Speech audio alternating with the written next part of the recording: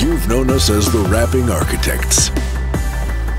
We've made you laugh and cry and inspired future generations. But this year, we're taking a break from all the silliness to bring you this PSA on what it really means to be